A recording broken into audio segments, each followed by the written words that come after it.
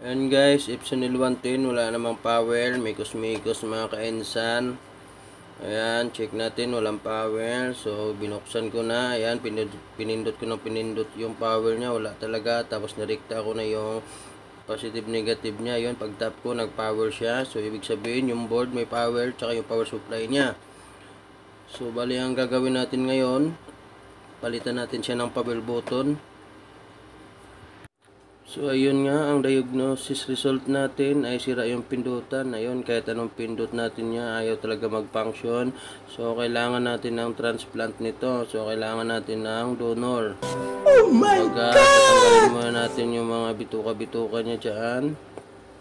Yung wire ng motor dyan, power supply, tsaka flex. Tanggalin muna natin. Tapos meron pang band-aid, baka galing sa operation din to. Ayan. Tapos tanggalin natin yung mga tornilyo. Ayan. Ayan, kailangan ng operation nito. Ayan, so simulan natin yung surgery ng printer board. So lagyan mo natin ng mga tingga, yung mga paa ng ating organ. Ayan.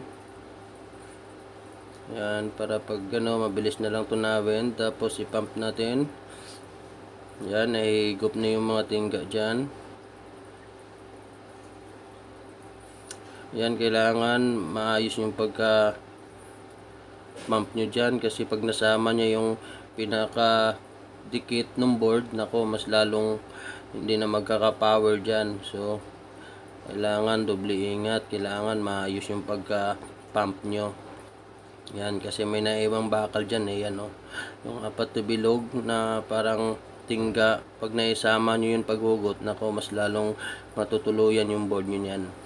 So, bali pinagkuhaan natin ang board ng IP2770 kasi ang pindutan kasi ng IP2770 matibay. Ay, yung suggest ko, yan talaga yung magandang ikabit natin doon. So, ayan na. Ayusin na natin yung pagpasok niya kasi medyo malaki yung pindutan ng IP2770. Idiin lang natin ng idiin para masagad. Ayan. Idiin na natin. Tapos lagyan mo natin ng lid tsaka na natin bitawan. Ayan. Pag nasolda na yung dalawa sa taas, pwede na natin bitawan. Ayan. So may kapit na kasi yun eh. Kasi pag sinulda mo na hindi mo hinahawakan yun, baka luluwag siya.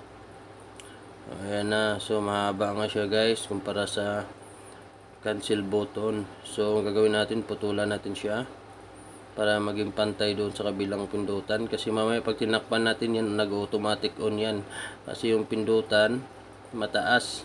Testing natin kung success ba. So ayun nga, success. So eh si touch na lang siya. So successful yung operasyon natin.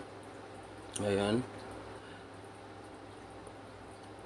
Ayan magti-testing na tayo. Power cord ayan pindot. O oh, diba success yung operasyon natin. Sprint ayan guys. Follow na lang kayo para marami, marami kayo matutunan